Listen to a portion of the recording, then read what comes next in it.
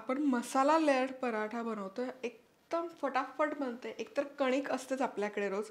आणि यामध्ये ना काही टिप्स आणि ट्रिक्स आहेत ज्यामुळे हा पराठा ना अगदी असा फटाफट होतो आणि त्याला लेयर्स किंवा पदर्स खूप छान सुटतात. एकदम चटपटीत लागतो क्रिस्पी कुरकुरीत दिसायला छान आणि चवीला जबरदस्त. नमस्कार मी मधुरा. मधुराज रेसिपी मराठीमध्ये तुम्हा सर्वांचं खूप खूप खूप मनापासून स्वागत. आज आपण भरपूर लेयर्स असलेला खमंग खरपूस असा आणि झटपट बनणारा मसाला पराठा कसा बनवायचा ते बघतोय. यापूर्वीही आपण दोन व्हेरिएशन बघितलेले आहेत पण यामध्ये ना अशा काही स्टेप्स आहेत मेथड आहेत की त्याला पदर छान सुटतील आणि मस्त असा क्रिस्पी हा पराठा होईल आणि मुख्य म्हणजे झटपट बनतो. तुमच्याकडे कणिक तयार असेल हा पराठा पाच मिनटात बनवून तयार होतो. तर इथे गव्हाचं पीठ मी घेतलेलं आहे. यामध्ये मीठ घालूयात आणि पोळी बनवण्यासाठी जशी आपण कणिक मळतो तशीच हलकीशी मऊसूत कणिक मळून घ्यायची. थोडं थोडं पाणी घालून हलकासा सेमी सॉफ्ट डो करून घ्यायचा.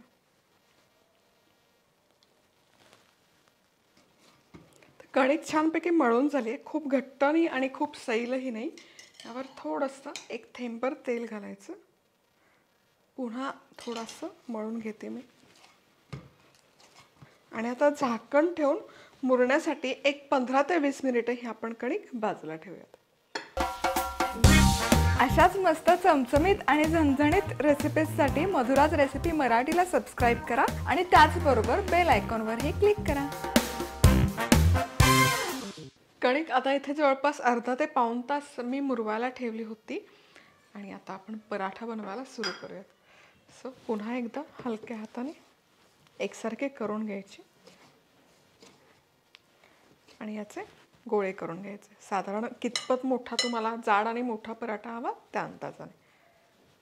सो दीड कप मी इथे पीठ घेतलं होतं. दीड कपमध्ये चार पराठे व्यवस्थित होतात.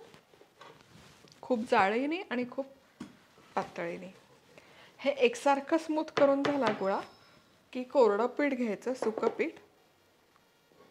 आणि आपण पोळी लागतो तशी एक मध्यम आकाराची पोळी लाटून घ्यायची.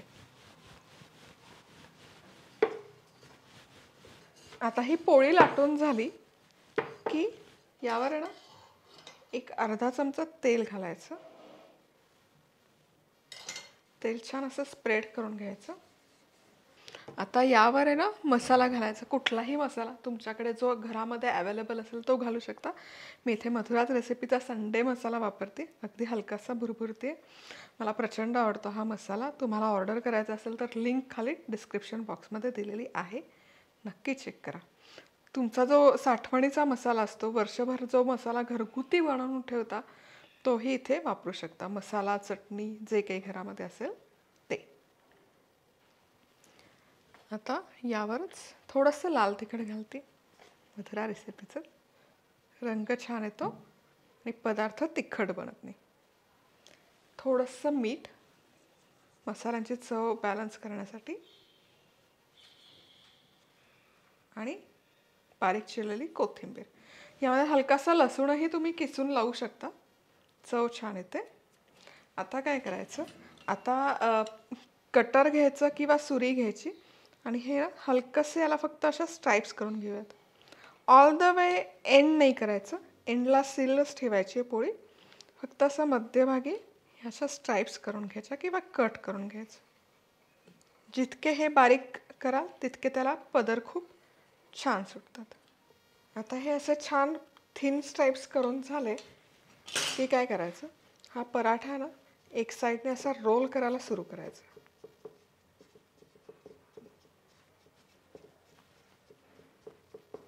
हे असं लिफ्ट करायचं आणि हे रोल करायचं. आणि हे फोल्ड करत जायचं. जसं जसं रोल करता तस तसं हे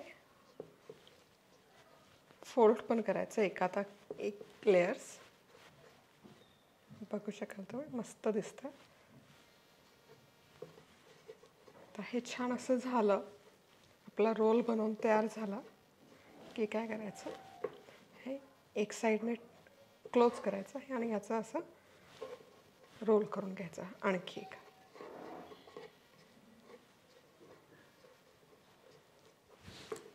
आता हे छान झालं की यावर हलकंसं सुकं पीठ घालून घ्यायचं. आणि याचा छान पराठा लाटून घ्यायचा. परफेक्ट तुम्ही बघू शकाल. छान असे लेयर्स ऑलरेडी दिसत आहेत त्याला भरपूर. आता आपण हा पराठा भाजून घेऊया. तवा इथे मीडियम हीटवर गरम करून घेतलेला आहे. खूप हाय हीटवर हा पराठा भाजायचा नाही. नाहीतर मग पराठा छान असा खरपूस होत नाही. आता पराठा हा घालून घ्यायचा आणि दोनही बाजूने छान असा खरपूस भाजून घ्यायचा. खालच्या बाजूने हलकासा भाजून झाला की उलटून घ्यायचा. वा तुम्ही बघू शकाल. ऑलरेडी याला छान असे पदर सुटलेले आहेत. भरपूर अशा लेयर्स रिलीज होतात. जसजसा भाजला जातो ना हे बघा. तसतसे याला पदर सुटायला सुरुवात होते. आता हलकंसं तेल घालूयात. वरच्या बाजूला. छान खरपूस भाजून घेऊया एखाद दुसऱ्या मिनिटाने उलटवून घेऊ वा बघू शकाल. लेअर्स क्या बात आहे छान अशी साखळी कशी सुटते तशा त्या लेअर सुटतात. मस्त. थोडंसं तेल आणि या बाजूनेही छान आपण भाजून घेऊयात. पराठा छानपैकी असा भाजून झालेला आहे. छान असे पदर्स किंवा लेअर आपल्याला जसे हवे आहेत तसे पडलेले आहेत सुटलेले आहेत. सगळ्या बाजूने गॅस बंद करतो आणि हा पराठा काढून घेऊयात.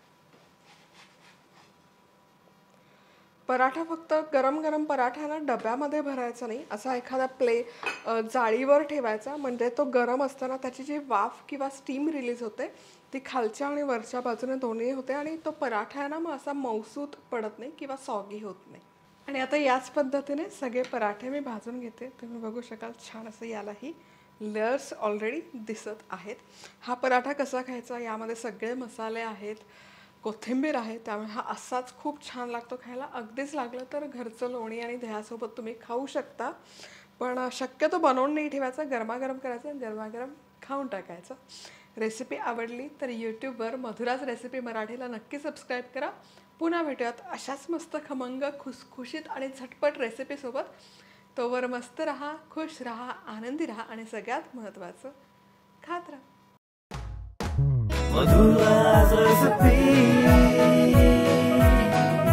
मधुराज रेसिपी महाराष्ट्राची अस्सल चव.